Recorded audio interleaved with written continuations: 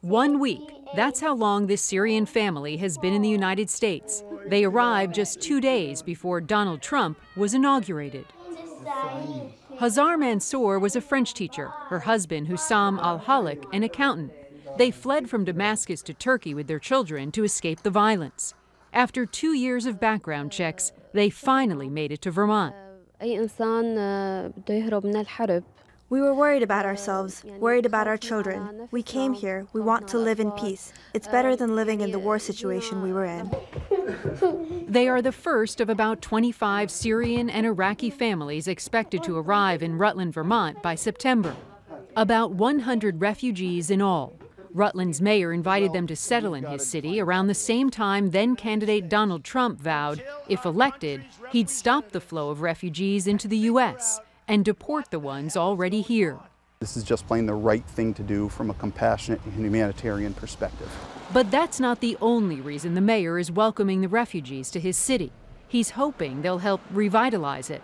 The city of Rutland has suffered a major population loss, making it hard for big companies here to fill jobs. The mayor is hoping that Syrian refugees will not only add to the population, but also to the workforce. The unemployment rate here is about 3 percent, dangerously low, says the mayor. We've got dozens, scores of employers in this community saying they've got hundreds of job openings they just can't fill.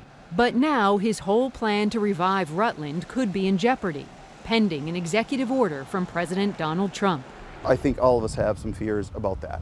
I think his concerns are misplaced. The security measures are in place for refugees, especially coming from Syria, will not put this community at risk. That's, that's a fact. This couple is hosting the Syrian family until their apartment is ready. Do you wish that, that President Trump could meet the couple and the family that you have in your home? I wish that anyone who thinks that it is a bad idea for them to come could just even take a little snapshot. They're wonderful people. They're not coming here to harm us, they're coming here to escape harm. Tim Cook, a doctor in town, says he doesn't want refugees settling in his city. Not because he thinks they're dangerous, but because he thinks they'll end up costing taxpayers money. So, are you saying the mayor and whoever decided that the refugees should come here got it all wrong? Yes, un- un- unequivocally. He says he fully supports President Trump's opposition to taking in refugees. I think we've done enough as a country.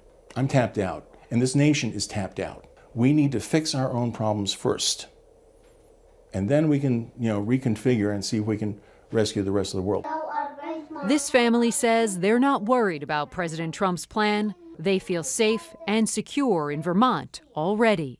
I like Vermont and uh, vive, uh, vive Vermont. The people. Yes. They're very nice. Very nice. Very nice. Yes, yes.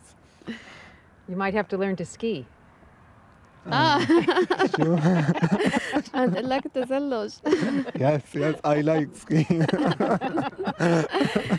New sport. New sport, yes, New sport yes, exactly. Yes, yes. One week.